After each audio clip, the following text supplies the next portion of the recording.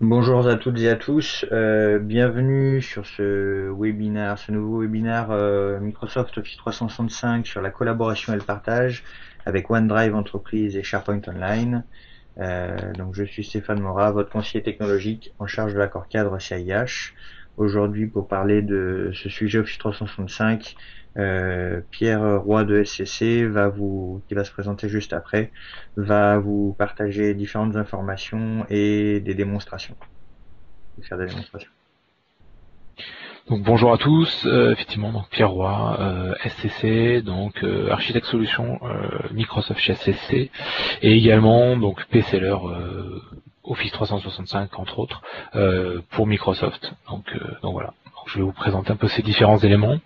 Euh, aujourd'hui, donc quelques éléments pratiques, hein, comme toujours, euh, pour débuter. Donc vos micros sont automatiquement coupés, mais n'hésitez pas, et même euh, on vous recommande, hein, avec, enfin chaudement, de, poser vos questions et de les poser donc via le via le chat. Aujourd'hui, on va effectivement parler euh, de euh, la collaboration et du partage euh, avancé ou voilà ou simple hein, même one to one donc entre au travers des solutions donc OneDrive entreprise SharePoint et un léger focus aussi quand même sur la brique Teams derrière ça.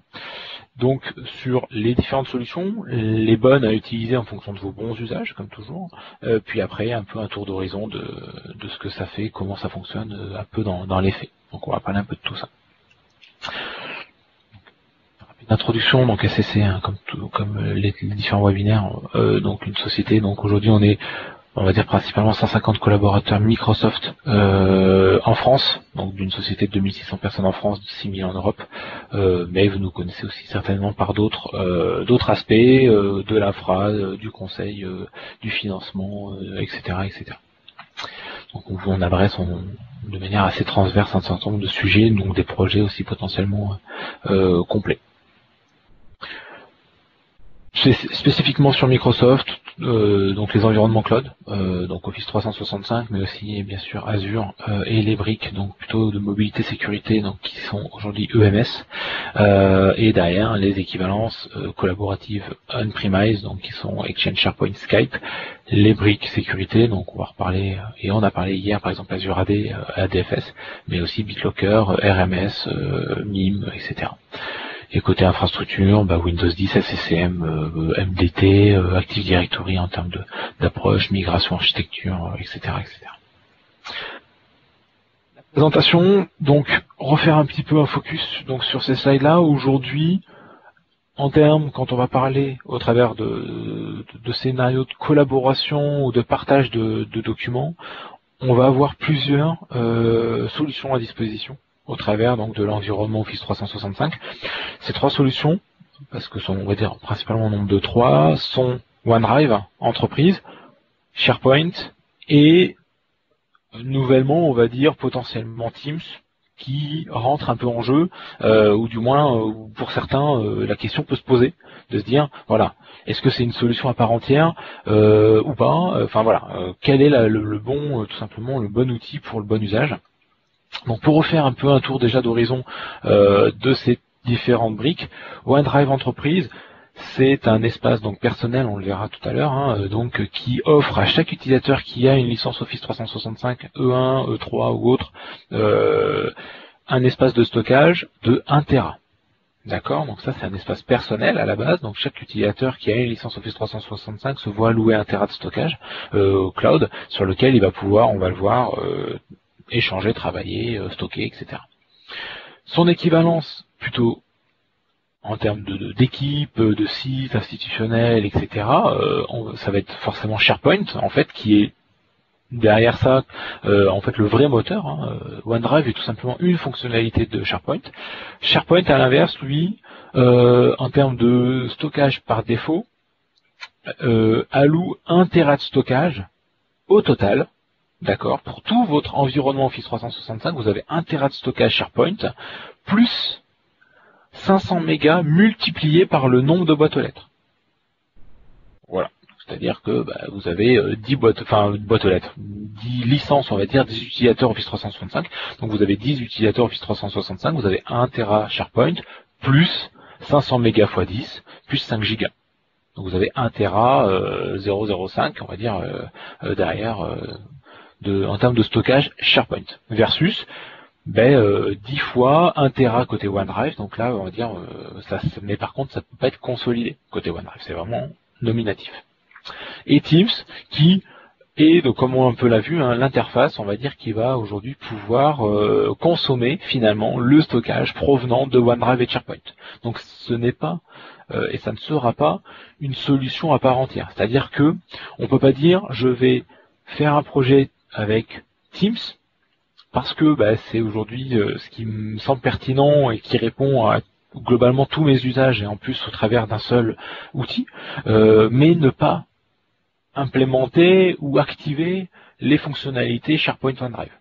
Tout simplement parce que Teams dépend finalement derrière, on va dire, donc si on prend hein, ce schéma-là, euh, Teams est vraiment presque, on va dire, la couche applicative euh, qui va venir consommer des services au travers d'un Office Group. Alors on en a parlé lundi lors de la présentation générale. Office Group est vraiment là juste comme un peu un groupe euh, de sécurité ou de distribution euh, Active Directory hein, interne. C'est lui qui va faire le lien, on va dire, qui va regrouper euh, un certain nombre de services pour que Teams vienne les consommer. Voilà, il faut vraiment le voir comme ça aujourd'hui. c'est la bonne. ça, ça, vous évitera aussi de vous de, vous poser trop de questions avec Groups comme ça, on, clôt un peu ce, type de sujet-là. Donc Teams va vraiment être un peu la couche, euh, dans les couches ISO, un peu la couche applicative, versus effectivement les couches OneDrive SharePoint, plutôt euh, la partie euh, stockage, plutôt infra, on va dire. Dans, la genèse, même si, on va le voir, hein, ce sont des solutions qu'on peut aussi adresser et qui ont aussi une vraie légitimité à part entière, c'est-à-dire qu'on peut complètement intégrer, adresser directement. Donc on va voir tout ça.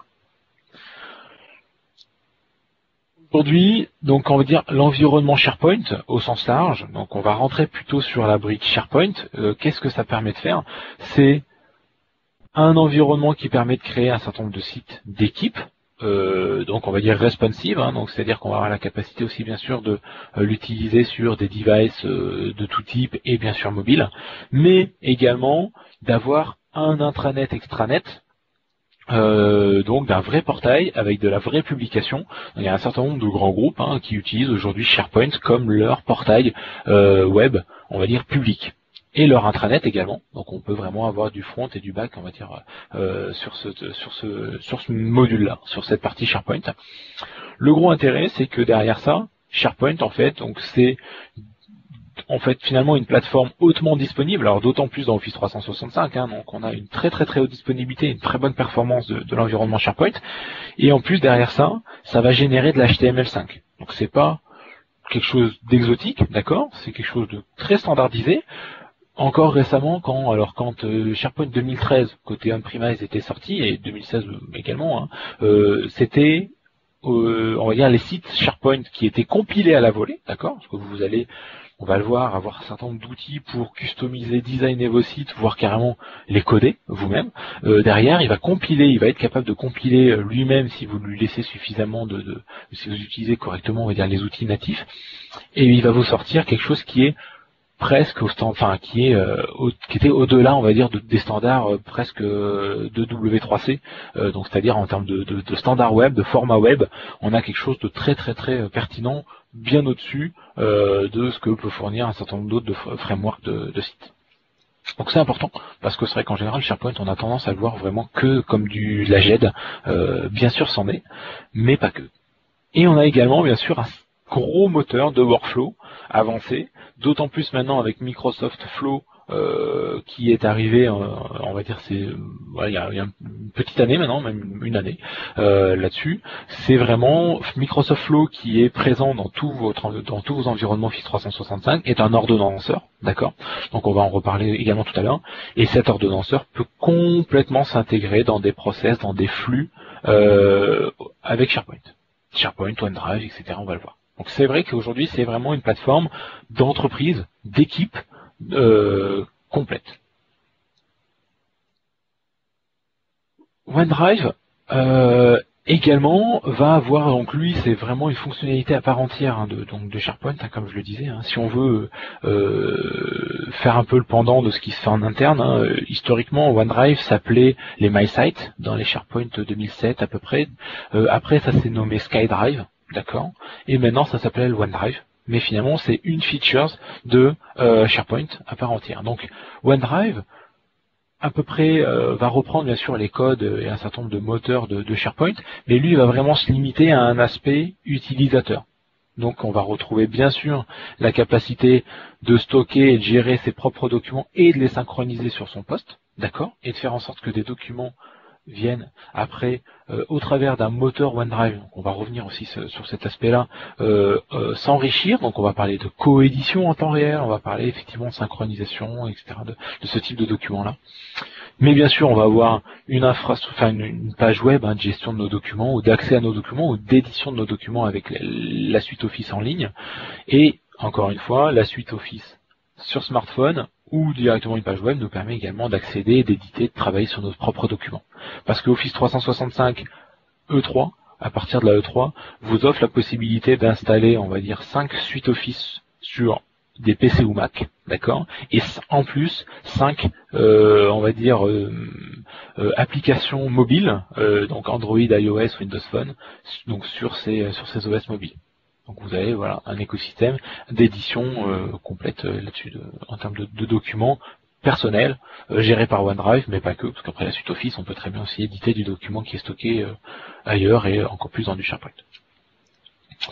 Donc voilà, schématiquement, on va avoir, et c'est souvent la question qui revient, c'est aujourd'hui, j'ai un projet ou j'ai un besoin, je veux stocker des, fichiers, ou j'ai un serveur de fichiers à migrer, ou etc. quelle va être la bonne solution euh, à utiliser derrière côté Office 365 pour héberger ces données-là.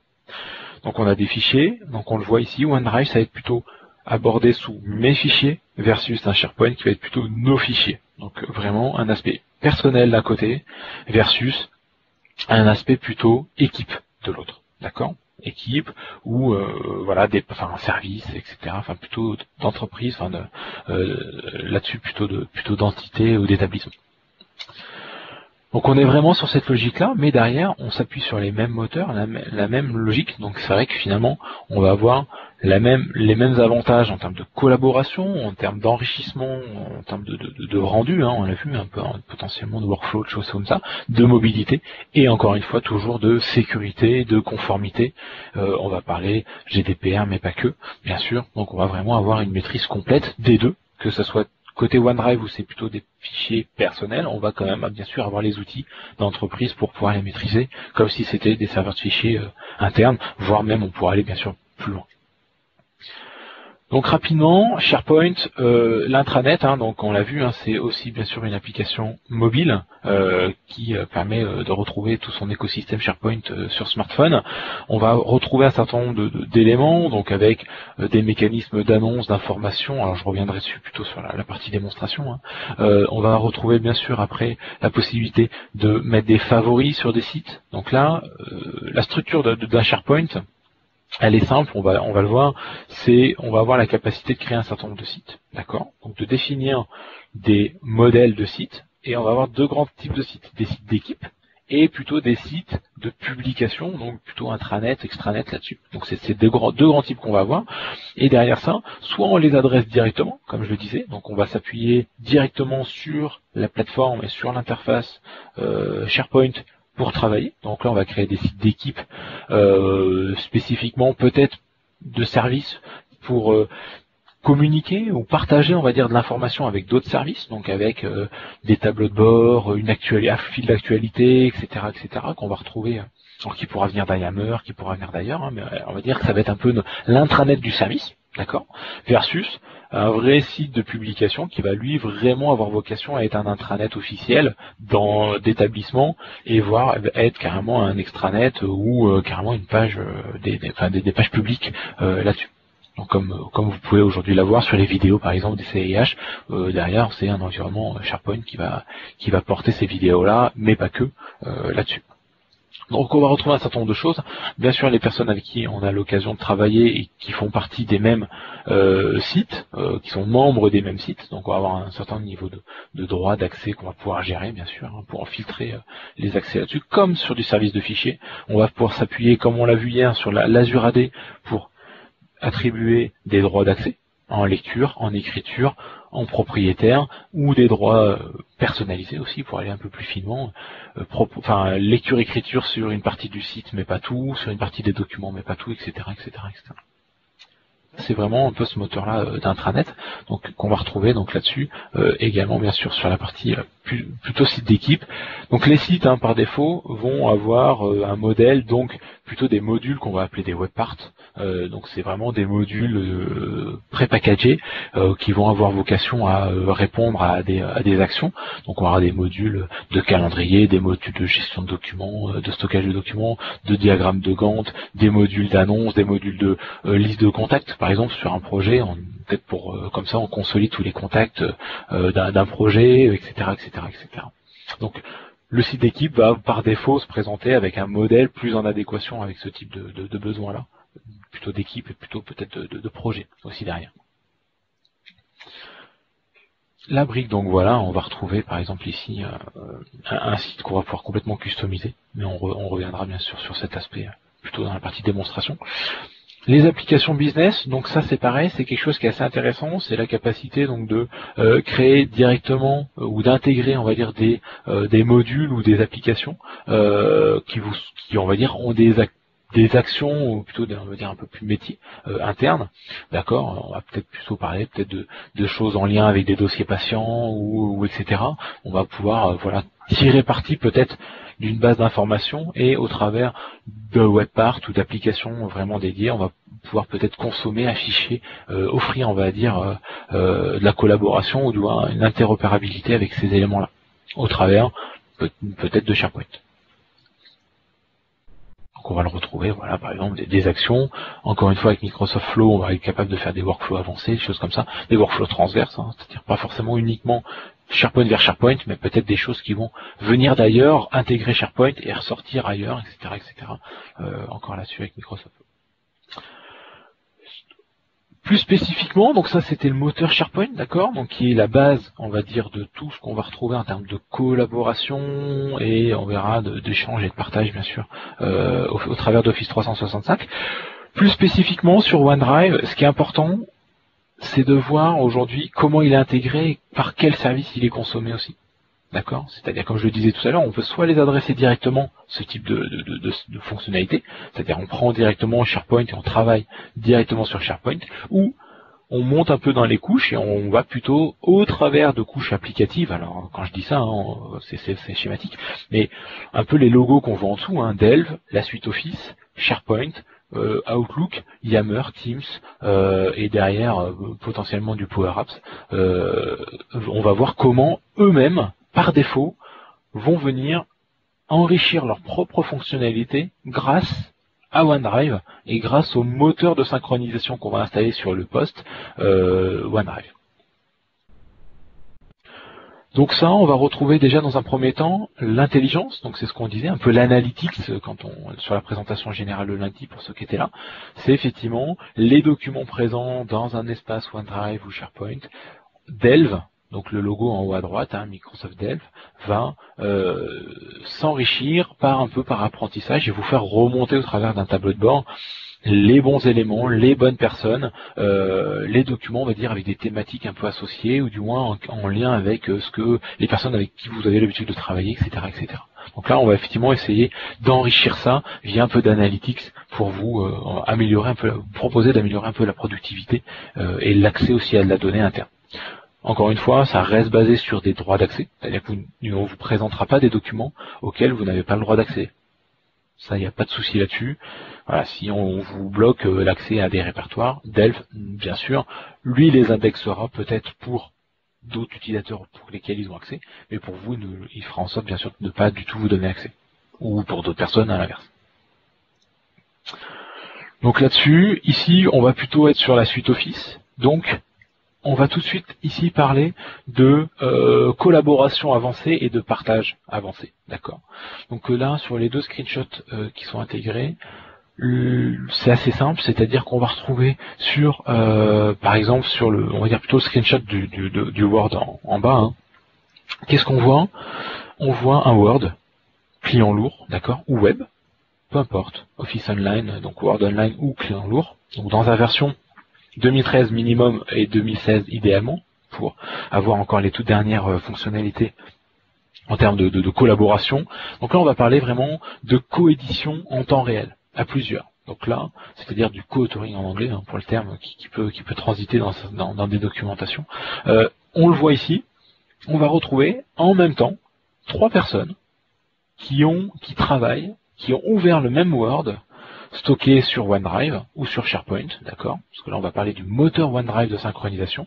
Donc euh, ce moteur de OneDrive de synchronisation, c'est-à-dire qu'en fait il va sur le poste euh, si, si, le document est sur le est sur dans un OneDrive utilisateur euh, sur, sur, un poste, euh, il va faire en sorte de synchroniser en temps réel le document, les modifications de ce document-là avec l'espace, le document qui est stocké dans OneDrive pour que les autres personnes qui sont ailleurs, hein, en France ou à, l'étranger ou peu importe, hein, en ligne ou, depuis un, client lourd, vont également pouvoir y accéder et avoir les modifications en temps réel et permettre donc du co-authoring.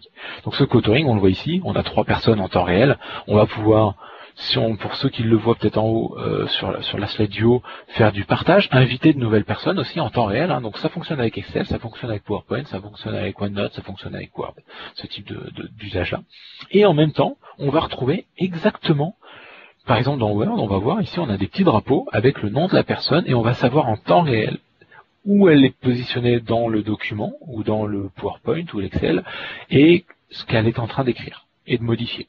Donc pas plus tard que ce matin, euh, moi-même, je travaillais dessus sur un document pour un client. On était à trois travailler dessus, un Parisien, deux Lyonnais, et on, était hein, tous en temps réel en train de travailler sur un Excel et sur un PowerPoint. Et donc on voyait en temps réel les modifications de l'un et l'autre. Donc voilà, on n'a pas de version à repousser par mail pour dire ben, merci d'intégrer tes slides ou ton tes infos, etc. Mais ça colle pas, mince. Il faut que je décale. J'ai changé deux trois trucs parce que euh, ça c'est pas en lien avec ce que je pensais mettre. Là, ça se fait intelligemment, ça s'intègre euh, complètement en temps réel dans ce type d'usage-là. Donc ça, c'est une vraie euh, vraie fonctionnalité. Hein. C'est vraiment vraiment intéressant et c'est vrai qu'on ne retrouve pas ça forcément euh, partout. Et clairement, ça ne fonctionne qu'avec Office 365 aujourd'hui. Donc la collaboration également, c'est bien sûr le partage de documents, d'accord? Donc on va au travers de ça, bien sûr pouvoir déjà stocker nos documents sur notre propre poste. Donc si on prend les slides de gauche à droite et après en bas, on va retrouver bien sûr la possibilité d'un OneDrive ou d'un site SharePoint, encore une fois, de pouvoir les synchroniser en local sur le poste, sur un poste utilisateur. Donc ça c'est le moteur OneDrive, c'est-à-dire qu'en fait le moteur OneDrive, tout à l'heure, hein, en fait, il faut vraiment faire la distinction entre le service OneDrive qui va vous proposer du stockage de 1 Tera euh, par personne et le moteur OneDrive qui est un agent une application finalement qui va tourner sur le, poste utilisateur et qui va se charger de synchroniser euh, les documents présents dans un SharePoint ou dans un OneDrive Office 365 sur votre poste. Donc là, c'est ce qu'on voit, c'est-à-dire qu'on va se connecter sur un SharePoint d'équipe auquel on a accès et on va souhaiter synchroniser tout ou partie des documents présents sur ce site SharePoint pour tout simplement y avoir accès, euh, on va dire, comme un répertoire local sur son poste et donc on voit le cheminement. Mais ça, je vous le remontrerai de toute manière en, démonstration pour que ça soit un peu plus euh, visuel, un peu plus temps réel. Également donc au travers d'Outlook, bien sûr, hein, on va retrouver cette capacité de faire en sorte qu'un document, et donc ça c'est très très très important, très intéressant. Euh, je sais que déjà avec certains d'entre vous, on a eu l'occasion d'échanger sur ce type d'usage et de besoin, de se dire, voilà, aujourd'hui, et ça, reste un peu sur cette thématique hein, de toute manière un peu globale de ces webinaires aujourd'hui, c'est de se dire, voilà, moi aujourd'hui, tous mes flux, tous mes échanges, toute l'information transite uniquement par mail, ou à 98%. Demain, j'aimerais faire en sorte d'avoir les outils pour les bons usages. Et donc ça, Office 365, hein, comme on l'a vu euh, mardi, euh, est vraiment dans cette, euh, dans cette solution-là, c'est-à-dire qu'il propose la batterie, les outils pour répondre à tous les usages. Et même certains outils s'imbriquent entre eux comme par exemple Outlook et OneDrive, pour vous proposer tous les bons usages. C'est-à-dire qu'un utilisateur qui va souhaiter partager une pièce jointe volumineuse ou non, hein, potentiellement, peu importe, hein, mais on va avoir trois trois besoins. D'une, c'est d'éviter des copies qui vont s'égarer euh, un peu partout, euh, et donc de la volumétrie qui va engorger soit notre euh, notre propre serveur de messagerie, soit tout simplement euh, engorger un peu, euh, enfin les boîtes aux lettres en général. Donc ça c'est en général le premier constat, parce qu'aujourd'hui les boîtes aux lettres, on est comme assez régulièrement, on, on, commence à se rapprocher facilement des 5 gigas voire plus pour des utilisateurs un peu plus un peu plus VIP. c'est loin d'être d'être exceptionnel aujourd'hui mais c'est pas forcément nécessaire parce que là on va avoir la capacité donc aussi d'éviter d'avoir de se perdre entre les versions des documents et de pas retrouver forcément la bonne et d'éditer ça un peu n'importe comment. Donc l'intégration d'une pièce jointe, hein, donc pour répondre à tous ces besoins-là, euh, on va pouvoir le faire en l'intégrant dans un Outlook et après via OneDrive, on va pouvoir lui dire ben, je veux en fait que ce document soit stocké dans mon OneDrive et qu'en fait tu me génères à la place un lien que en fait c'est ce lien qui sera partagé aux utilisateurs. Et donc les utilisateurs quand ils vont aller cliquer donc quand ils recevront le mail, ça apparaîtra. Pour la si on voit un peu la slide du bas, donc j'aurais peut-être dû faire un peu plus gros les, euh, les, encarts, on voit bien en fait que notre document PowerPoint ici, il a un tout petit nuage à côté. Si vous regardez bien, ce petit nuage veut tout simplement dire qu'en fait il n'est pas vraiment mis en tant que pièce jointe, il est mis en tant que lien, mais il va apparaître aux utilisateurs pour ceux qui ont euh, des clients Outlook euh, enfin online encore une fois et, client lourd, hein, il apparaîtra comme une pièce jointe, sauf que quand l'utilisateur va double-cliquer dessus, ça va aller automatiquement derrière, euh, de manière masquée, lui ouvrir en fait une page web qui va lui permettre de d'ouvrir le document PowerPoint depuis la version en ligne de PowerPoint ou encore une fois depuis le, client lourd. Et donc ça, ça va gérer automatiquement les partages, etc., etc. Et les partages, si on le souhaite, on va pouvoir les faire évoluer. Donc ça c'est très très intéressant, l'intégration native euh, de ce type d'usage-là avec Outlook. Euh, voilà, ça répond clairement à en général un gros besoin, un gros problème euh, de, tout, de tous les administrateurs de messagerie et de l'IT en général. On va aussi avoir donc bien sûr l'aspect avec Teams et Yammer. Donc Yammer qui est le réseau social d'entreprise porté par, par Office 365. On va au travers de Yammer ou Teams avoir la capacité de collaborer, de stocker, de partager des documents. Ces documents, en fait, derrière, seront intégrés dans votre propre OneDrive si c'est Yammer et dans un SharePoint d'équipe si vous l'avez fait au travers d'un Teams euh, avec une équipe derrière Teams. Donc en fait on se retrouve finalement toujours, la document n'est pas perdu, n'est pas euh, on va dire euh, envoyée n'importe où, elle n'est pas stockée n'importe comment et n'importe où, elle est toujours centralisée soit dans un OneDrive, soit dans un SharePoint. Toujours. Donc on aura toujours la capacité, si on y accède côté OneDrive, côté SharePoint, de la retrouver, de la structurer différemment si on le souhaite, etc. Enfin d'en tirer parti, parce que rien n'empêche après de se dire, eh bien, des documents que je vais adresser au travers d'un Teams ou d'un Yammer, je peux très bien y, intégrer, comme c'est stocké dans un OneDrive ou dans un SharePoint, un ordonnanceur, donc un Microsoft Flow, qui dit que bah, dès que je stocke, dès que je partage un document via Yammer, donc via le réseau social, j'ai un Microsoft Flow qui va également euh, copier ce document euh, dans un répertoire. Euh, si c'est telle ou telle personne qui l'a partagé, je vais le copier dans un autre répertoire, etc., etc. Donc voilà, on va toujours pouvoir tirer parti au maximum de manière transverse de toutes ces fonctionnalités-là et du moteur de partage et de collaboration. Et donc effectivement, ce type de workflow va être ici vraiment enrichi, d'accord, hein, euh, par donc ici Microsoft Flow, qui va vous proposer de faire un certain nombre d'actions. Donc là, on en a listé euh, toutes celles, on va dire, hein, au moment où les slides avaient été faites, euh, enfin qui existaient et qui euh, permettaient de faire euh, des actions avec avec OneDrive. Donc on a des choses, par exemple, un document qui est stocké dans un OneDrive, je veux en fait qu'il soit également, je sais pas, stocké dans un, bah, par exemple, effectivement dans un stockage Azure, qui soit qui soit plutôt stocké en tant qu'underlist, ou à l'inverse, hein, on peut très bien dire un document qui est dans un euh, dans un Outlook, comme on l'a vu, je veux qu'il soit aussi stocké ou qu'il soit déplacé euh, dans un OneDrive à la place. Euh, je veux peut-être qu'un document qui soit qui vient d'Instagram soit également stocké dans un OneDrive, etc., etc., etc., etc. On a un certain nombre de choses là-dessus pour voilà pour vraiment structurer, maîtriser et ordonnancer la donnée là-dessus, avec des mécanismes de workflow, d'autres choses si on le souhaite. Un petit focus sur Teams, j'en ai rapidement parlé, c'est pas forcément la thématique aujourd'hui, mais comme on l'a vu, Teams aujourd'hui va aussi tirer grandement parti de euh, des moteurs donc de collaboration de, de SharePoint et de OneDrive. Donc je vais pas forcément parler de la partie euh, messagerie instantanée, tout simplement parce qu'il y a un webinaire plus orienté là-dessus, mais on sera plutôt effectivement sur la partie travail d'équipe. Donc Teams, hein, donc c'est effectivement on va retrouver un espace de, dans lequel on va avoir nos documents euh, et dans lequel euh, bah, tout simplement derrière c'est le moteur SharePoint qui va également centraliser et permettre en fait de faire d'amener de la collaboration, du partage, etc. Finalement on s'appuie toujours sur le même moteur, sauf que l'interface c'est un client unique et c'est Teams derrière qui va vous permettre de faire ça. Donc c'est vraiment un peu cette logique là euh, qu'il faut garder en tête là-dessus. Dernier point, parce que c'est important de l'avoir euh, aussi en visibilité. Hein, euh, pour ceux qui ont ou qui souhaitent implémenter des environnements euh, SharePoint et qui ont peut-être un historique interne ou qui souhaitent faire quelque chose d'un peu spécifique, on va pouvoir, bien sûr, également faire des SharePoint, on va dire hybrides. Donc on va, on le verra, hein, chacune de ces briques-là.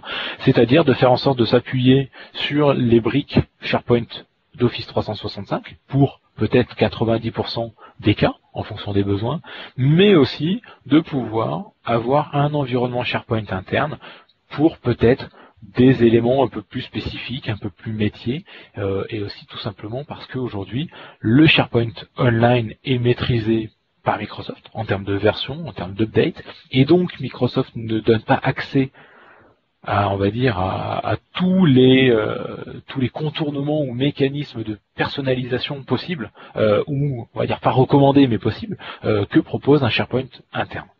Donc c'est là où, en fonction de vos besoins, en fonction aussi peut-être de votre historique, des applications déjà développées sur un SharePoint, etc., etc., ou des types de documents, etc., on va pouvoir réaliser, on va dire, une hybridation euh, simple ou un peu avancée entre un, environnement SharePoint interne existant ou euh, implémenté pour un besoin spécifique et bien sûr la brique qui restera majoritaire à mon sens hein, aujourd'hui euh, c'est quand même l'objectif enfin c'est souvent le, vrai bon besoin et de donc la brique SharePoint Office 365 parce qu'il faut vraiment le voir hein, SharePoint c'est quand même une architecture à implémenter en interne qui est, si on souhaite avoir une équivalence à ce que propose Office 365, qui est quand même assez euh, conséquente, d'accord hein. Si on souhaite vraiment euh, définir une grosse architecture, un peu à l'équivalence d'Office 365, c'est aujourd'hui euh, toutes les langues sont translatées aujourd'hui hein, dans, Office 365, c'est-à-dire vous pouvez faire des sites web et des sites donc de publication, enfin de, de, de public et faire en sorte que SharePoint soit aussi capable de vous faire des sites équivalents dans plusieurs langues et avec de la traduction automatique. Peut-être pas parfaite, mais on va dire il va être capable de le prendre en charge. Donc ça c'est quelque chose d'assez lourd à implémenter en interne, possible mais lourd. Et après tout ce qui est moteur de front-end, c'est-à-dire de, tout ce qui va être flux, de, enfin la partie 2IS, le back-end aussi, avec du SQL derrière, euh, et les intermédiaires, tout ce qui va être cache, tout ce qui va être indexation de recherche, etc., etc. Donc voilà, c'est assez lourd. Donc pour ça que je recommande toujours, quand on a des contraintes et des limitations dues à un environnement existant ou à un contexte, c'est bien sûr euh, d'implémenter un SharePoint interne, mais uniquement pour répondre à cette problématique-là. Tout le reste, je vous recommande fortement de l'implémenter au mieux dans euh, le SharePoint Online. Parce que tout simplement, voilà, c'est ça, ça, sera beaucoup plus souple et beaucoup plus puissant aussi en termes de, de, de solutions. Donc on va maintenant essayer d'aller un peu toucher du doigt euh, quelques quelques-uns des éléments que, j'ai pu vous vous présenter, vous expliquer ici. Donc on va faire déjà un premier tour sur. Alors j'espère que mon zoom est encore là. Euh, non, je vais comme à chaque fois. Tac. Euh, je vais juste ouvrir un zoom pour que ça soit plus simple pour tout le monde. Voilà. Ok. Donc on va retrouver hein, sur notre page de notre portail utilisateur, hein, donc là c'est en fonction des, licences qu'on a activées, on va retrouver bien sûr ici notre OneDrive et ici notre SharePoint si l'administrateur, bien sûr, bon là on parle de ça, donc idéalement nous l'a nous l'a proposé. Donc si on va sur, sur OneDrive dans un premier temps, OneDrive, ça se présente vraiment comme une page de gestion de nos documents, d'accord, de nos fichiers par défaut. Donc on a une vue simplifiée, donc par rapport à ce que vous avez pu voir dans, les, dans ce que je veux pu vous présenter, on a vraiment que l'aspect, le visuel de stockage et de gestion de documents, d'accord, donc euh, stockage de documents et de gestion avec le partage, etc. Et par défaut, le partage est bien sûr privé, c'est-à-dire que cette donnée est personnelle par défaut. Et si je souhaite, je vais pouvoir l'ouvrir, le partager avec d'autres personnes. Alors, euh, effectivement, au-delà d'un certain seuil de partage et de contenu, on va forcément vous recommander, on va peut-être se dire que c'est peut-être pas le bon outil pour ce besoin-là. Que si j'ai beaucoup de documents ou beaucoup de répertoires à partager avec beaucoup de personnes, je vais peut-être passer sur un site d'équipe SharePoint plutôt que de tordre le cou à mon OneDrive où la donnée reste à la base personnelle. Donc on va dire qu'il n'y a quand même pas de, c'est quand même pas forcément euh, idéal là-dessus. Mais voilà, donc c'est vraiment pour vous donner cette idée-là.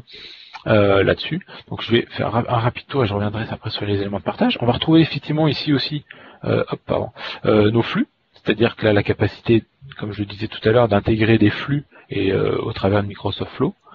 et bien sûr, donc l'icône de synchronisation qui, si je clique dessus, va me proposer d'ouvrir mon client OneDrive. Donc là, je vais hop, ouvrir mon client OneDrive, donc qui est sur mon poste, qui est en fait ici en bas, vous voyez. Donc là, j'ai un troisième icône OneDrive qui vient d'apparaître en gris. C'est celui qui est en train d'être configuré ici.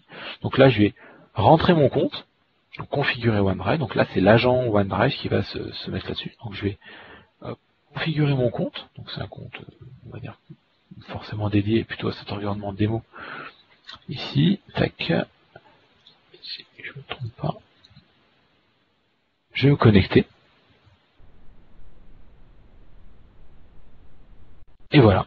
Donc là, j'ai mon OneDrive qui va être automatiquement, donc la, copie de mes documents qu'on vient de voir sur la page web OneDrive, je vais la retrouver ici donc dans un répertoire dans user p slash OneDrive le nom de, euh, on va dire, de ma société euh, là-dessus. Donc c'est, je dis comme c'est un environnement de démo, donc Contoso. Je fais suivant, et il va me proposer, derrière ça, de pouvoir normalement sélectionner mes répertoires si je le souhaite, même pas, parce que là, c'est vrai qu'avec la nouvelle fonctionnalité, voilà, il va me laisser faire ça. Donc si on va un peu dans l'ordre, donc juste pour vous montrer un peu ça. Après voilà, un peu comme le, petit euh, le petit euh, euh, gif animé le présente, il va juste me suffire de déplacer des documents dedans pour qu'ils soient automatiquement pris en charge par l'agent et synchronisés également dans mon espace OneDrive en ligne. Je vais avoir une nouvelle fonctionnalité avec Windows 10 et le client OneDrive d'octobre 2017, hein, donc il y, a, maintenant à peu près deux mois, qui va me permettre de faire ce qu'on appelle les fichiers à la demande. C'est-à-dire, on va voir effectivement trois grands euh, états d'un même fichier. Soit un fichier qui est présent dans mon OneDrive, mais qui a une copie, on va dire, uniquement en ligne. Ben OneDrive va quand même me permettre de le voir sur mon poste. D'accord? Et sinon, après, la pastille verte au centre, c'est que j'ai le document qui est en ligne et sur mon poste, parce que je, l'ai ouvert récemment, et donc le cache, on va dire, de ce document est encore présent sur mon poste, soit c'est un document que je souhaite absolument garder tout le temps sur mon poste, et auquel cas, je vais pouvoir le, sélectionner, et donc la pastille va devenir vert plein euh, pour euh, dire bah, ce document est en ligne, donc la synchro est bonne, tu vas pouvoir collaborer, partager ce document, mais par contre, dès qu'il y a une modification, par toi ou par quelqu'un d'autre depuis ce poste ou n'importe lequel, je vais resynchroniser les modifications sur ta copie sur ce poster. on va le voir, hein, que ça soit un peu plus simple là-dessus.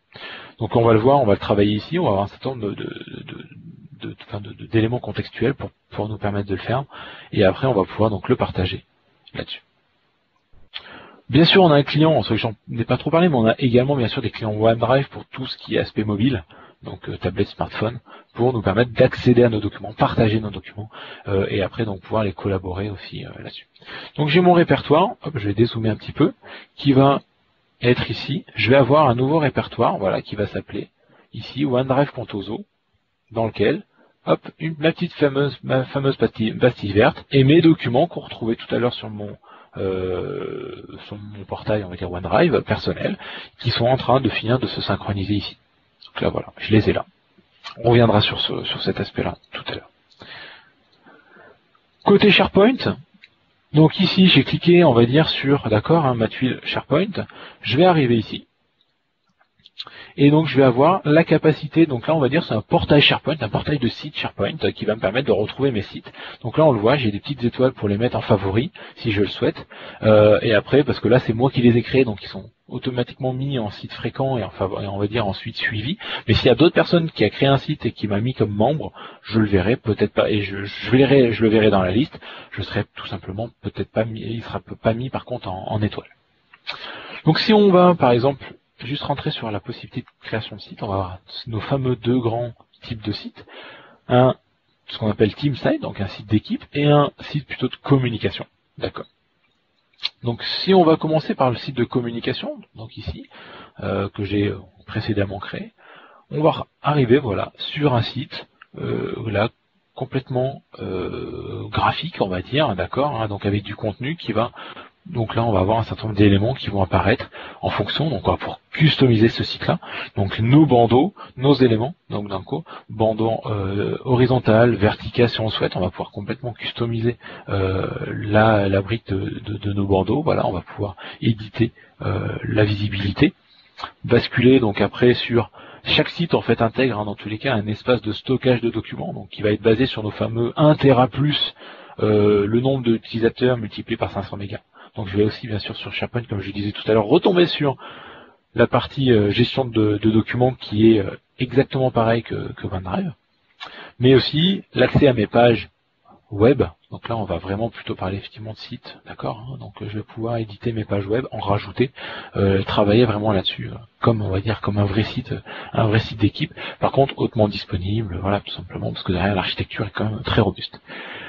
Et on va aussi surtout avoir la possibilité de réaliser un certain nombre de modifications en temps réel sans forcément devoir rentrer dans du code. C'est-à-dire que là ici, j'ai fait, je suis en train d'éditer par exemple ma page de garde. Donc là, je vais pouvoir aller éditer ce volet-là. Et donc je vais pouvoir effectivement rajouter euh, du texte euh, en temps réel, rajouter, modifier des images, etc., euh, etc. Je vais pouvoir vraiment travailler, d'accord, donc on va, ça c'est un, un mode d'édition simple, mais si je le souhaite, je peux aller sur des modes d'édition un peu plus avancés qui vont quand même me permettre d'enregistrer bien sûr ce document-là et après de le publier. C'est-à-dire que ça aujourd'hui, la version modifiée ici avec le petit blabla complémentaire, je le retrouverai euh, pour le moment pas sur la page publique parce qu'elle est en brouillon, mais là, dès que je vais cliquer sur publier, automatiquement elle va passer comme page officielle sur mon site. Euh, voilà, sur mon site officiel, sur ma page publique, sur mon intranet, etc., etc. Donc ça, c'est le moteur, on va dire SharePoint, donc comme on le disait, hein, sur la partie intranet, et plutôt côté publication. Donc on va vraiment pouvoir travailler là-dessus et proposer, on va dire plutôt à la, partie marketing, euh, euh, graphique, etc., euh, de, de, vraiment prendre en main tout cet aspect, tout en ayant derrière hein, la capacité, en étant administrateur, d'aller vraiment travailler de manière un peu plus profonde sur euh, les briques de ce, de ce type de, de, site avec des paramètres SharePoint, euh, etc. qu'on va retrouver, qu'on ira voir plutôt sur la partie administration aussi. L'équivalence donc TeamSite, enfin l'équivalence, la thématique plutôt TeamSite, euh, par défaut, donc ça c'est des thèmes par défaut. C'est bien ce qu'il faut comprendre, c'est-à-dire que ça c'est des thèmes qui vous sont proposés, mais rien ne vous empêche de créer vous-même vos propres, ce qu'on va appeler vos propres templates, c'est-à-dire que je vais pouvoir après, quand je vais vouloir créer ici, je vais tout simplement pouvoir avoir peut-être d'autres templates à disposition, donc qui vous seront vous customisés déjà avec le logo peut-être de l'établissement, avec peut-être des modules déjà intégrés, etc., etc. Et donc là, le template par défaut de site d'équipe, on va retrouver un, fil d'actualité, d'accord? Les dernières annonces, les, dernières, les derniers éléments de l'équipe ou du département notre activité qui va remonter nativement ici, donc avec nos documents euh, et les différents euh, modules, mais bien sûr je vais pouvoir aussi pouvoir rajouter un certain nombre de, de, choses, comme des listes, comme des applications. Voilà, donc on va par exemple ici avoir accès à des applications natives, comme je sais pas qu'est-ce qu'on pourrait prendre, effectivement, donc annonce on en a parlé, par exemple un environnement où on va retrouver un certain nombre de liens qui va peut-être euh, faire référence à des sites externes ou à des, euh, liens vers des, vers projets. Je vous le disais, un calendrier, à des contacts, un forum de discussion si on le souhaite, etc. Peut-être des éléments aussi de suivi de projet. Donc voilà, donc on va avoir un certain nombre de, modules par défaut qu'on va pouvoir enrichir derrière. Donc ça c'est vraiment des modules qui vous sont proposés euh, directement dans le site via SharePoint. Euh, hop, je suis pas sorti, enfin si je suis sur ma page plutôt. Donc la contenu du site, c'est tout simplement, on va dire un peu la partie back office hein, de ces sites-là. Donc on va retrouver ça. Euh, donc les différents modules. Donc là, je vais retrouver par exemple si j'avais rajouté euh, d'autres éléments, je peux créer bien sûr des sous-sites. Hein. donc une vraie arborescence de sites. Donc on va faire apparaître avec après derrière des liens qui vont apparaître soit de manière horizontale ou verticale, soit de manière complètement customisée et intégrée dans le site. Nos contenus du site, donc c'est tous nos modules, nos applications qu'on va rajouter qui vont apparaître ici contenu du site, ça va aussi nous donner, nous permettre de suivre potentiellement euh, l'adoption, l'usage de site, donc tout, ce qui va être visitaire et, éléments qui font l'utilisation de ce site, et bien sûr des corbeilles de site. Donc ça on va reparler sur le versionning et la corbeille, c'est-à-dire de pouvoir restaurer des documents ou des éléments supprimés. Euh, je vais pouvoir bien sûr le faire, l'utilisateur va pouvoir le faire, on va revenir dessus, mais aussi l'administrateur a une sous-corbeille là-dessus. Et un vrai module de paramètres de site. Alors pour ceux qui ont SharePoint 2013 ou 2016, vous ne serez pas euh, dépaysés. voilà, c'est vraiment, on se rend compte hein, vraiment que c'est un moteur SharePoint avancé, mais on c'est le vrai moteur SharePoint derrière. Et donc là, on va retrouver tous les modules d'administration du site, mais aussi de ce qu'on appelle derrière, en termes d'arborescence de, de, structure, de, la racine du site, qu'on appelle ici collection de sites euh, sur SharePoint. Donc on a tous ces éléments-là. On a aussi bien sûr des moteurs de recherche. Donc ça c'est euh, très, intéressant et très important de l'avoir en tête. Par exemple ici, euh, je sais pas si je fais voilà test, je vais avoir des moteurs de recherche. Alors forcément, bon, j'ai pas pas uploadé de document test, mais je vais peut-être j'avais pas mis un document qui s'appelait document. Voilà. Donc je vais retrouver des documents. Donc un vrai moteur de recherche. Donc ça c'est très performant, vraiment. Hein. par exemple, j'ai des clients qui implémentent uniquement SharePoint en interne ou maintenant même en, ligne, hein, une presque deux bases juste pour avoir accès à ce moteur de recherche. Parce qu'il est vraiment, il permet donc de retrouver des documents, il cherche dans le document, dans le contenu de document aussi, euh, et après il va nous permettre de faire, si on le souhaite, des mécanismes de filtre, par défaut. Et après, si je vais plutôt sur la page de résultats, on va dire historique, enfin on va dire classique, je vais effectivement retomber sur, voilà, plein d'éléments et surtout des types de filtres avancés. Donc si je filtre par auteur, par exemple, donc là, hop, filtrer par auteur, Pierre Roy, la date, tac tac tac, aujourd'hui, voilà, je vais retrouver que mon que mes documents ici. Donc ça, on va pouvoir l'enrichir. Après, on a des thématiques. Je recherche tout. Je recherche plutôt que des personnes. Je recherche des conversations. Si on a mis des gens de forum, des vidéos, etc. On va pouvoir ça, ça s'enrichit complètement. Et bien sûr aussi des langues que je vais pouvoir rajouter.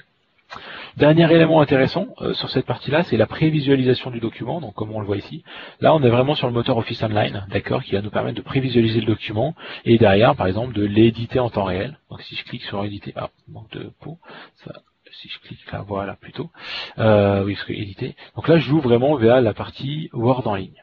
Et donc là, je suis sur mon document, donc là, je suis en vue. Mais si je souhaite, je vais pouvoir aussi faire le modifier dans mon client lourd ou dans mon navigateur web. Donc si, donc navigateur web, on va retrouver, d'accord, hein, une arborescence assez avancée euh, d'édition. Donc on va retrouver, on le voit, hein, nos euh, onglets Word. Euh, déjà, on va retrouver un certain nombre de modules. Et ça, c'est vraiment que l'édition en ligne. D'accord Et si je veux aller dans mon Word client lourd pour bénéficier de tout ça, je vais tout à fait pouvoir le faire. Et donc là, il va m'ouvrir mon client lourd, me streamer le document, le contenu du document, pour que je puisse après y accéder, l'éditer, le modifier depuis mon client lourd. Mais ça n'enlèvera rien aux euh, fonctionnalités de collaboration et de partage et de coédition, comme je le disais tout à l'heure. Donc là, comme c'est pas mon compte par défaut sur mon poste, ça va prendre un tout petit peu euh, plus de temps, euh, je pense. Donc voilà un peu pour ces différentes briques là. Euh, le temps qui m'ouvre, ça devrait pas être non plus très long. je vais juste revenir sur sur la brique OneDrive, donc on va dire sur le moteur de partage. alors je vais peut-être même plutôt commencer sur ici sur OneDrive. Donc on va, comme on l'a vu, hein, la capacité de synchroniser, donc là ça va nous permettre d'avoir nos documents en local. Mais sur nos documents ici, je vais directement pouvoir faire partager. Et donc là, je vais avoir la capacité, donc ici, de lui dire avec qui je souhaite partager mes documents. Avec tout le monde, donc avec un lien, avec une date, avec euh, en lecture-écriture, avec des personnes spécifiques qui doivent s'authentifier, d'accord euh, Ou après vraiment des personnes avec un lien interne uniquement, etc., etc. Donc je vais vraiment pouvoir filtrer, maîtriser aussi ça. C'est-à-dire que là, si je vais dans mes trois petits points et que je vais repartager, alors je, il va me renvoyer là, mais je vais avoir accès aux trois petits points ici pour vérifier, voir, gérer les accès. Donc ça va apparaître ici, et donc je sais en temps réel qui accède à mes documents. D'accord. Euh, pour aller un petit peu plus loin, oui, je voulais aller sur la partie administration quand même, OneDrive et SharePoint. Donc là, je vais déjà aller sur la partie administration OneDrive, qui est la plus, la plus graphique, la plus simple. Euh, là, on va vraiment pouvoir, par exemple, si vous ne souhaitez pas laisser la possibilité à l'utilisateur d'accéder à des documents pardon, de partager des documents avec des personnes externes ou voire anonymes, d'accord, avec des liens. Alors, je sais pourquoi il veut pas, voilà. Euh, on va tout à fait pouvoir le faire, c'est-à-dire de brider par défaut. Donc par défaut, on peut très bien dire bah, quel lien je veux que euh, qu'il soit proposé par défaut. Donc je peux très bien dire bah, le lien par défaut, ça sera un lien interne, d'accord? Et je veux faire en sorte que ce lien interne, enfin que ce lien, dans tous les cas, il ait une expiration, une date, euh, et qu'il soit juste en lecture dans un premier temps. Euh, voilà qu'il soit, on va dire, valable 15 jours, etc., etc. Donc ça, je peux faire ça. Et je peux aller plus loin, c'est-à-dire je peux aussi dire, bah, je veux empêcher les utilisateurs depuis OneDrive donc depuis leurs données personnelles, euh, de partager avec des anonymes, c'est-à-dire sans que personne soit obligé de se connecter avec un, compte Microsoft externe, peu importe, mais qui soit qu'ils arrivent en anonyme, ça je ne veux pas. Et sur SharePoint d'autant plus, je ne veux pas euh, du tout qu'on puisse partager par exemple avec des externes. il me fait un peu dans, le sens là, mais voilà, je veux par exemple dire, ah non, là ouais, plus restrictif, mais je peux très bien faire comme ça, voilà. Et donc là, je vais dire externe, mais par contre qui sont dans mon annuaire, donc là je maîtrise. On peut tout à fait faire ça euh, donc au travers donc SharePoint OneDrive. Donc c'est un peu là c'est la même console pour gérer ce niveau de partage là. Et donc pareil, on va pouvoir aller un peu plus loin sur ce type-là, sur autoriser ou pas la synchronisation, etc., etc. Si je vais sur la partie administration et je m'arrêterai à peu près là, enfin après j'ai mon document Word hein, qui s'est voilà qui s'est pas ouvert, je m'en doutais un petit peu parce que c'est pas le compte. Si voilà, est-ce qu'il va le proposer. Voilà, mot de passe. Donc il vérifie hein, l'accès, hein, il ne propose pas aussi n'importe n'importe qui à ouvrir le document, donc il vérifie bien que j'accède au document euh, là-dessus, puis mon client lourd. Donc ça, pourquoi ça se présente comme ça? Donc on l'a vu euh, l'étape complète, c'est transparent hein, bien sûr si euh, si c'est le même compte. Là c'est un compte d'environnement de présentation, donc forcément c'est normal qu'on ne qu'on ait ces écarts là. Et donc après, pour terminer sur la partie administration SharePoint, on va voir qu'on a aussi également accès à un certain nombre d'éléments d'administration de, avancée. Donc si je le ferme là, je fermerai peut-être le document, pour euh, voilà, tout simplement pour pouvoir maîtriser au mieux, bien sûr, un environnement SharePoint online comme on souhaiterait l'avoir euh, on-premise. Donc là, je vais aller là, donc je vais retrouver mes collections de sites pour ceux qui connaissent, donc voilà, un certain nombre. Et après, dans mes paramètres, je vais retrouver beaucoup de paramètres. Donc j'ai beaucoup de, modules hein, sur la, brique de, euh, verticale de, gauche ici. Je vais pas forcément tous les passer, parce que tous ne sont pas forcément très intéressants, en a mais là on va retrouver effectivement la capacité de maîtriser beaucoup de choses. Euh, d'autoriser ou pas du contenu, des types, de, des fonctionnalités de tiers euh, ou pas, etc. etc. Donc voilà, donc ça c'est vraiment ce, moteur-là euh, qui, est, qui est assez intéressant euh, là-dessus. Donc là je retrouve, ah, si dernière chose que je voulais absolument vous montrer euh, tant que j'y suis, donc là je vais plutôt passer par un de mes documents à moi.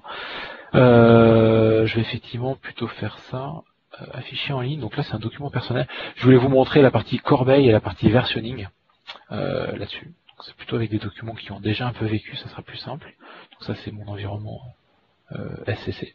D'accord Donc là, je vais sortir de ce document-là, parce qu'il n'y a pas forcément de grand intérêt, si il me le permet. Voilà, général.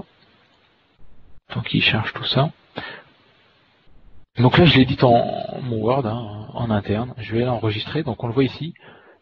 Comme il est stocké dans OneDrive, j'ai automatiquement sur la petite disquette un, euh, un icône de synchronisation, ce qui fait qu'en fait, il va pas me le stocker en local, il va vraiment me le synchroniser dans mon espace OneDrive en ligne. Là-dessus. Le temps donc que mon document arrive ici. Donc si je vais par exemple ici, donc je vais retrouver mon document et je vais pouvoir faire l'historique des versions de ce document-là. Et je vais retrouver remonter. Donc euh, ça, on est sur des cas où, ouais, alors comment on fait après si l'utilisateur il a modifié et que je veux remonter, que j'ai perdu la version, est-ce qu'il faut que je restaure, est-ce qu'il faut que je backup, etc.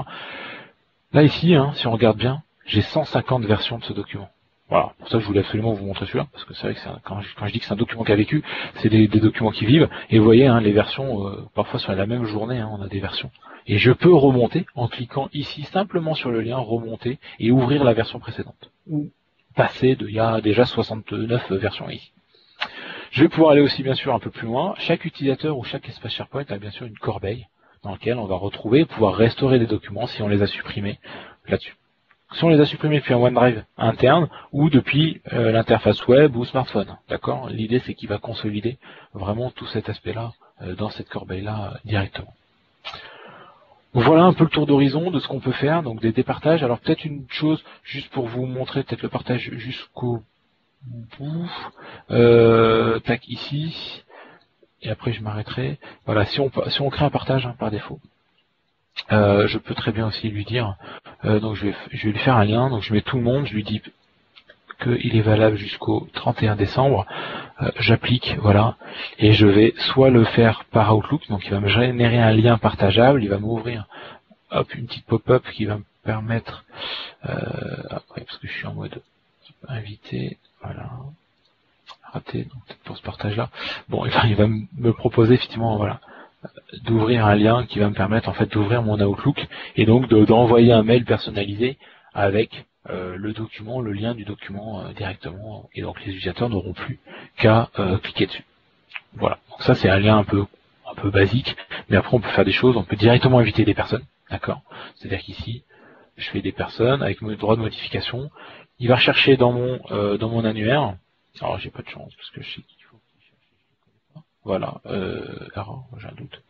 Mais bon, euh, alors je connais pas les noms de mes personnes, euh, de tous mes utilisateurs. Je vais juste aller en trouver un, et après je m'arrêterai là. Adèle pourtant, voilà. Voilà, Adèle Vance. Je vais lui partager. Si je l'envoie, il va automatiquement envoyer une, une invitation. Si je souhaite moi-même personnaliser, je vais plutôt cliquer sur le lien. D'accord? Donc ça va me copier le lien. Et soit sinon je fais carrément une un mail personnalisé, purement personnalisé comme on le voit ici. Donc ça c'est voilà. Donc là on a le partage et l'utilisateur a automatiquement les droits derrière. Il lui suffira de cliquer dessus et ça lui permettra d'ouvrir le PowerPoint ou un répertoire, parce qu'on a exactement la même euh, capacité sur des répertoires. Voilà ce que je pouvais en dire. Alors pour terminer, un peu euh, pareil que qu'hier sur, euh, enfin que le webinaire précédent, sur ce type de scénario-là, pour ceux qui n'ont pas forcément, euh, on va dire, une vision complète de ce qu'ils souhaitent faire et qui veulent appréhender au mieux, on va dire, les, usages, on a la possibilité, alors SCC propose euh, des, euh, des scénarios avec, au travers d'une journée, refaire une revue un peu de votre contexte pour vous accompagner sur un discours ou sur une présentation un peu plus globale de ce que propose Microsoft au sens large, ou sur une techno, ou carrément sur un usage dédié. D'accord Donc ça c'est sur une journée, un de ces trois, approches. Euh, et après, on peut aussi transformer ça avec des POC euh, simples ou avancés, ou deux simples euh, là-dessus derrière pour peut-être mettre aussi en, en, action quelque chose qu'on aura identifié ou un usage que vous aviez identifié, qu'on aura déjà travaillé sur la première journée, qu'on aura peut-être mis en place dans un premier temps ou testé sur des journées supplémentaires. Voilà ce que je pouvais enfin, la présentation autour de ces, différents modules. Merci Pierre. Est-ce que il y a des questions des participants qui sont connectés? N'hésitez pas euh, à les poser dans le chat. le chat. Est-ce qu'on a Tac. D'accord. Pas de questions pour le moment. C'était clair Ça doit être très clair. soit très clair, soit trop confus. ah, ah pas, mais... Ah. Les espaces.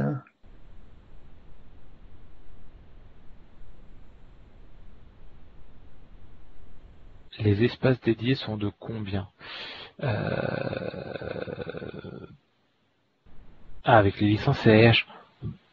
Alors, euh, est-ce que vous pouvez préciser la question? Qu'est-ce que vous entendez par vous parlez de, stockage, c'est ça, euh, euh, avec les licences de l'accord CIH C'est ça votre question? Ok, donc dans le cadre de l'accord CIH, vous pouvez acheter donc deux types d'options. L'option 1 Elle concerne Office 365 et elle permet d'acheter des licences avec trois types de profils. des licences E3 qui permettent d'avoir donc une boîte aux lettres à 100 gigas avec archivage illimité euh, et euh, donc pour euh, OneDrive 5 Tera et pour SharePoint je crois que ça doit être 1 Tera par collection de par collection de sites de mémoire plus un certain volume je vais vous redonner le lien, j'ai plus en tête exactement les, les, volumes, mais ça doit être quelque chose comme ça. Je crois que c'est 1 Tera pour SharePoint et, et ensuite 500 mégas par utilisateur de mémoire. Euh, vous avez également des licences E1 euh, qui sont sensiblement identiques aux licences E3, sauf que la boîte aux lettres elle est seulement à 50 Go. Et vous avez euh, et l'espace OneDrive pardon à 1 Tera au lieu de 5 Tera et vous avez des licences F1. Les licences F1 elles sont plus limitées. La boîte aux lettres Exchange est à 2 Go euh, l'espace OneDrive est à 2 Go et pour SharePoint euh, c'est considéré comme un utilisateur classique. Donc euh, pareil il a le droit enfin c'est 500 mégas par par SharePoint par tenant en fait. Mais je vais redonner un lien je vais essayer de retrouver le détail des stockages en fonction des licences. Office 365 oui, il y a un lien effectivement qui regroupe tous ces services-là. Alors, euh, je ça. SharePoint, euh, euh, Store, ça. je crois derrière, hein, qui, qui permet de, de les lister. Ça doit être ça. Alors, Philippe peut envoyer un lien. Je sais pas si c'est celui-là. On va regarder. Voilà, j'ai ça. Alors. Est-ce que j'ai les voilà, moi j'ai enfin j'ai déjà ça, je sais que c'est parfois on peut ça c'est les limitations. Et là t'as peut-être pas ouais, il y a ah pas le stockage stockage 1 Tera par organisation euh, plus voilà 500 mégas par utilisateur donné. Donc je m'étais pas trompé. OK. Ouais, c'est ça. Hein. Effectivement, c'est ça ça pas trop ça pas changé encore. Jusqu'à 1 Tera par collection de sites ou groupe et collection de sites 20 par organisation. Donc euh, c'est ouais, c'est toi qui as le, lien d'accord. Alors bon, c'est là c'est pour petite entreprise, il doit y avoir la même chose pour grande entreprise. Tu peux peut-être mettre le lien dans le dans le chat. Euh, ouais, je, je, cherche juste le parce que ça c'est le lien euh, pour euh, petites et moyennes entreprises. Il doit y avoir un lien pour grandes entreprises qui est sensiblement équivalent, mais il y a peut-être des petites fonctionnalités en plus. Donc j'essaye de le retrouver. Euh, alors ça doit être, ça doit s'appeler limite de SharePoint euh, online pour les grandes entreprises. Et ça. Oui, sinon on le mettra même dans la présentation. Hein. Oui, voilà, on va pouvoir l'ajouter. Encore plus simple. C'est vrai que là, Tac tac tac OneDrive, parce que là je suis dans quel SharePoint Online pourtant.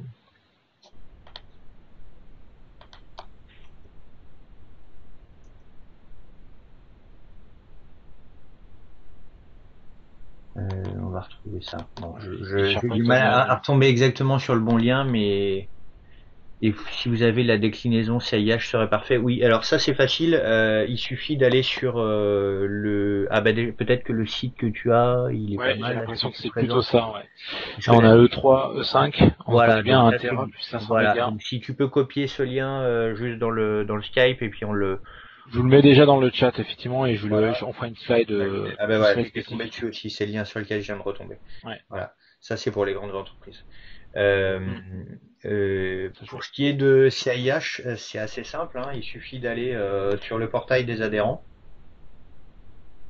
où vous avez le, le, détail de l'offre et spécifiquement pour la partie cloud avec les détails, il suffit d'aller dans la FAQ cloud que je mets dans le lien également dans le Skype Et sur ce lien-là, vous allez trouver euh, toutes les informations pour démarrer avec Office 365. Il y a notamment la synthèse des options avec toutes les fonctionnalités par brique, euh, les différents plans, euh, etc. Donc vous allez trouver toutes les informations qu'il vous faut.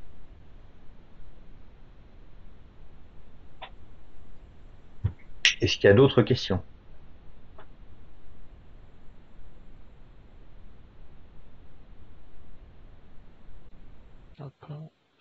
On va considérer qu'il n'y en a plus. Merci pour votre temps. Ah, et Cécile ah, propose un accompagnement démarrage. Ah, il y a une petite question pour toi. Oui, tout à fait. Hein. C'est effectivement c'est ce que c'est ce qu'on disait, euh, c'est-à-dire qu'on peut tout à fait euh, vous proposer un accompagnement. Euh, alors après, en fonction de votre contexte et de votre besoin, hein, on est capable d'adresser, euh, selon nous, on a les compétences en interne pour vous accompagner sur un projet euh, global euh, SharePoint, mais aussi bien sûr sur plutôt une prise de connaissance pour approfondir un petit peu au moins votre votre maturité sur sur un environnement et après peut-être aussi évaluer l'intérêt par rapport à ce que vous avez en tête ou par rapport à des briques que vous avez déjà en interne, etc., etc. Tout à fait c'est des choses. Donc par exemple cette euh, on va dire cette slide là qui regroupe un peu la partie One Vision peut tout à fait faire sens dans le sens où on peut euh, adresser ça par exemple sur euh, un ou trois jours déjà hein, tout simplement. Hein. C'est-à-dire faire un, tour d'horizon pour échanger ensemble, travailler et, vous donner aussi les dernières dernières updates et la bonne visibilité sur sur ce périmètre là. Et après rentrer déjà sur sur quelque chose pour faire une maquette ou avancer peut-être sur un plan projet ou des choses comme ça. Tout à fait. Donc il y a Monsieur Bérangol qui demandait également euh, euh, euh, si ça allait être diffusé, si l'enregistrement allait être diffusé. Donc oui, bien sûr. J'ai mis le lien là dans le dans le Skype meeting. donc il suffit d'aller sur le portail des adhérents dans la partie vidéo à la demande, dans lequel maintenant vous avez deux sections. Il y a une section e-learning qui concerne toutes les formations euh, support euh, euh, Microsoft et, d'autre part vous avez une section webinaire. Si vous cliquez sur la partie webinaire, vous allez voir qu'il y a tous les webinaires qui ont été diffusés jusqu'à présent. donc j'ai pour le moment j'ai posté le webinaire de, du 5 décembre donc de mardi. je vais poster aujourd'hui le webinaire qui a été fait hier sur Azure Active Directory. Euh, donc celui du 6 décembre, et je posterai euh, ainsi de suite euh, dans les jours qui suivent les, nouveaux webinaires, celui d'aujourd'hui notamment. Il y avait deux questions qui sont arrivées. Il y a, il y avait une question juste avant. tac, tac, tac. Alors le contact pour l'accompagnement, en restant sur la partie SCC. Donc c'est moi-même. Hein, euh, donc euh, vous l'aurez dans, les slides. Euh, donc donc Pierre Roy, n'hésitez pas. Donc vous avez ici mon adresse mail. Donc pierroy@frscc.com. donc peut-être plutôt par mail ou après mon, numéro de portable, hein, n'hésitez pas. sinon, votre contact commercial dans un premier temps SCC, parce que effectivement, donc ça c'est aussi une autre question, on adresse tout à fait ce type de sujet-là au travers de l'UGAP, donc il n'y a pas de problème euh, pour tous ces aspects-là. Pour revenir un peu sur euh, un peu la matrice de compétences euh, Microsoft chez SCC, on peut tout à fait adresser des sujets transverses Office 365, aussi bien d'intégration que de migration vers Office 365, d'accord? Que ce soit bien la partie messagerie, la partie SharePoint, la partie Skype, la partie RSE, tiers, etc. Des équivalences après en termes de pure mobilité avec du device, euh, donc on va on peut euh, effectivement aller un peu plus loin dans, ces dans ces usages là et après sur des équivalences internes euh, également SharePoint voilà. Et après Azure EMS etc etc etc donc tout à fait on peut tout à fait faire ça et tout à fait au travers du gap donc n'hésitez pas à me, contacter si vous avez un doute sur votre contact ou vos contacts on va dire SCC je, je, ferai le lien et je, vous mettrai enfin je, on se mettra tous en relation à partir de là avec mon contact. N'hésitez pas. Ok, merci beaucoup. Euh, ben, je vous souhaite une euh, bonne fin de journée et rendez-vous la semaine prochaine euh, pour un webinaire le 12 décembre si je me rappelle bien. C'est ça, tout à fait. cette fois-ci à 14h et non à 10h sur la messagerie avec Exchange Online. Exact. Voilà, merci beaucoup et bonne fin de journée. Au revoir. Merci à tous.